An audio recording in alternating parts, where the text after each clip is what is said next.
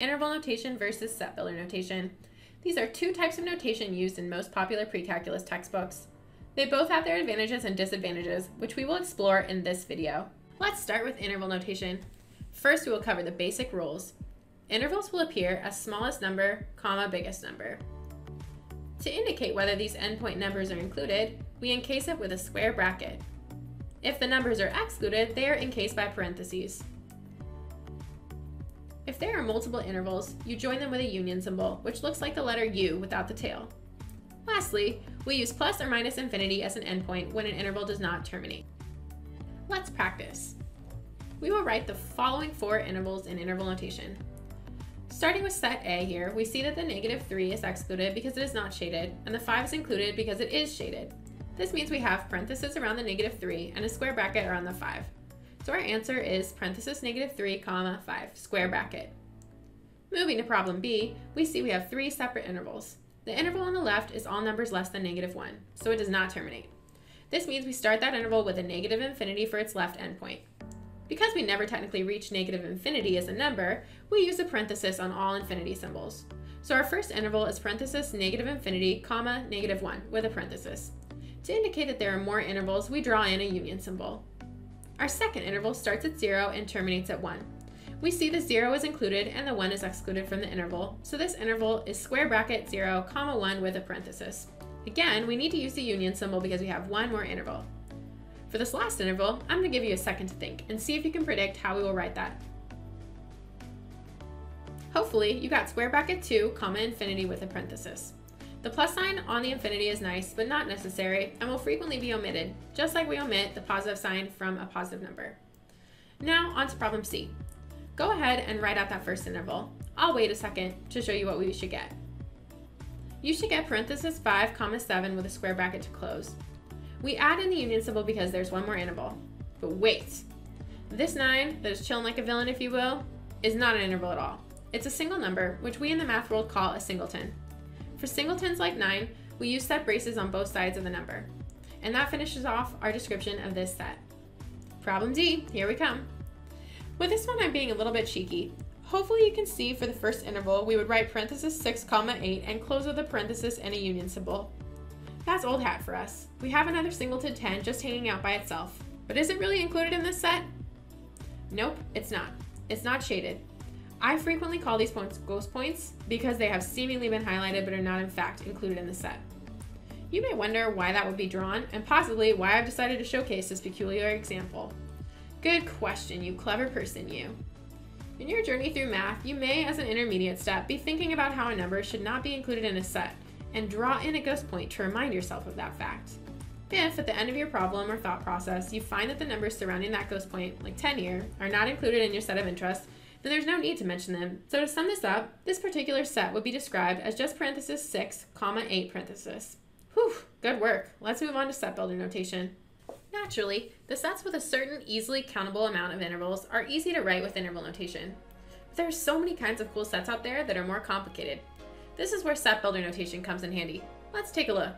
First, the set of even numbers. To describe the set of even numbers by just listing them out would be impossible, too time consuming because there are infinite values. But perhaps we can generate them with a formula. So what all even numbers have in common? They are multiples of 2 in a natural number. We can describe them as 2n where n is a natural number. To write n as a natural number in set notation, we use the element symbol, which is not quite an e but may look similar.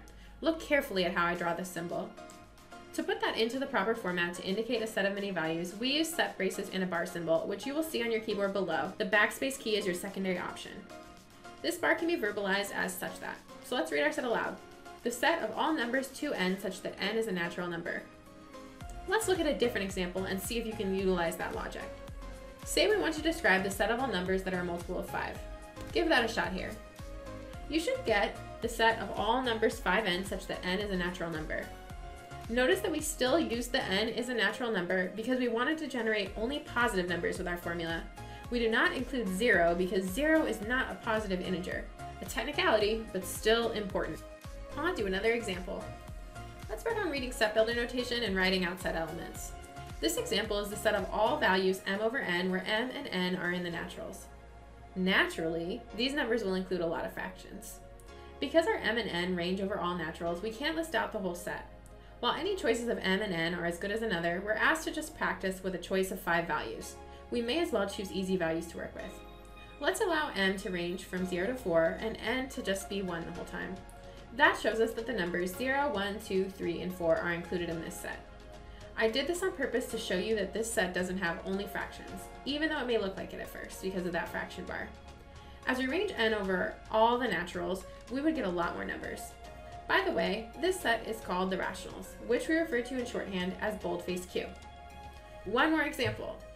This is a set of all values 2x plus y such that x and y are integers. Again, it's too many values to list, so we must choose just five values at random to describe some elements. We'll use x equals 0, 1, 2, 3, 4, and y equals 0, 1, 2, 3, and 4. This gives us that the elements 0, 3, 6, 9, and 12 are elements in our set. Let's work on going from set builder to interval notation. Maybe you can read these sets and go directly to the interval notation, but my whole job is to show you how to do that, so let's be a bit more thorough. Drawing the set in problem A, we see we have all x values such that x is a real number greater than or equal to negative 1. So this would be square bracket negative 1 comma infinity closed with a parenthesis. For our set in problem B, let's try without the number line. We see we are looking at all x values such that x is a real number between negative 1 and 10 with the negative 1 included because of the or equals to sign and the 10 not included. We use the notation square bracket negative 1 comma 10 parentheses. Believe it or not, we can express sets that we usually visualize on a graph with this information. Let's look at this set. Notice that we added in parentheses before the bar. This gives us a formula for a set of points of the form parentheses x, 2x plus 1. While this may seem like an interval at first, consider the context of the problem. We were asked to use the Cartesian coordinate system to visualize, which is made up of x, y points. In this case, we see that the y slot is occupied by 2x plus 1. So in other words, y equals 2x plus 1. The set of all such points when graphed looks like the line y equals 2x plus 1. We know that it is the entire line because our x values range through all real numbers, just like they do with lines. So let's sketch this. First, we build a t-chart of points. To do this, you choose some x values and plug into our formula for the y values. 2x plus 1. And here's our t-chart. This gives us just these points ranging x through negative 2 and 2. But remember, x ranges through all real values, so we connect these dots. And here comes our graph flying in. I recommend you practice building this t-chart on your own and sketching the line. You may remember that once you know you are graphing a line, you really only need two points and a straight edge, so this graph will be a bit of an overkill for a well-practiced pre-calculus student such as yourself. One nitpicky thing about these graphs. I claim it is missing a small detail. Can you spot it? That's right, labels. We should label our axes x for the horizontal and y for the vertical. Now this graph is picture perfect, and I think y'all are basically experts at interval and set builder notation.